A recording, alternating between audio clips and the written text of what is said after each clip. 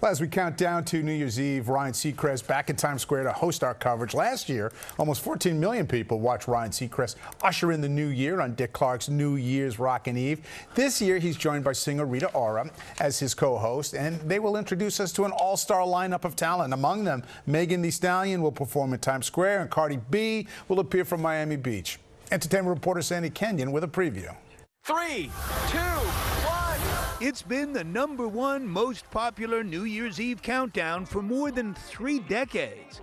And Ryan Seacrest is back in Times Square for the 19th time. This is the 19th year. What's different? Rita Ora. Hello, here she is. His co host is Rita Ora. Born in Kosovo, she became a star in England.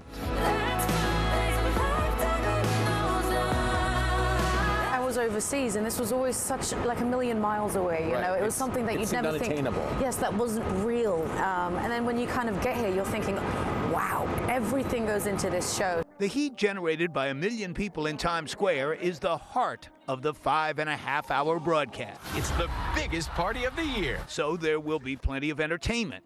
LL Cool J will be among those performing. Green Day and many more will take the stage in LA. First time playing here. We're excited to be playing because uh, well, we get to debut a new song called Dilemma. Post Malone appears from Las Vegas. The Queen of Reggae, Ivy Queen, shows up in Puerto Rico. And live from South Korea for the first time, K pop sensation New Jeans.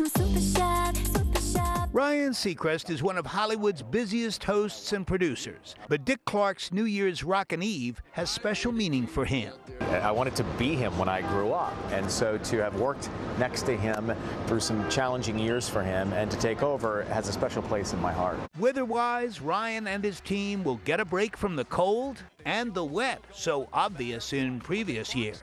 I've heard some stories. Th- This is like, Yes. oh yeah, you are so lucky it's not fair. I'm Sandy Kenyon, Channel 7 Eyewitness News. Thank you, Sandy. That was fantastic. Channel 7, the place to be on New Year's Eve. Our coverage kicks off at 7 with a countdown to 2024 hosted by Good Morning America's Robin Roberts. Then at 8, the start of Dick Clark's New Year's Rockin' Eve, hosted by Ryan Seacrest. Eyewitness News is back with a special edition, 10 o'clock, and then it's back to Dick Clark's New Year's Rockin' Eve and our good friend Ryan to count down uh, in Times Square until that ball drops. Again, you can catch it all right here on Channel 7 on Sunday.